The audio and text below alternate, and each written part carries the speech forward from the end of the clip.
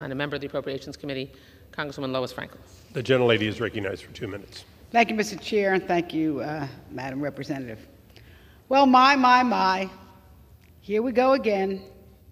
The Republican attacks on access to legal abortion never ends. And today, the target women veterans, women who left their loved ones, trained hard, sometimes risked their lives to stand up for our freedom, and now it is time to stand up for theirs. All women should have the freedom to make their own personal decision about when or whether to start or grow a family. And this bill would undermine the current Biden policy that allows veteran medical centers to provide an abortion when the life or the health of the pregnant veteran is in danger.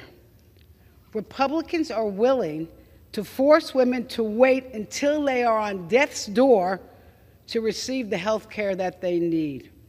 Really? This is how we thank veterans for their service? I urge my colleagues to vote no on this bill, and I yield back. Gentlelady yields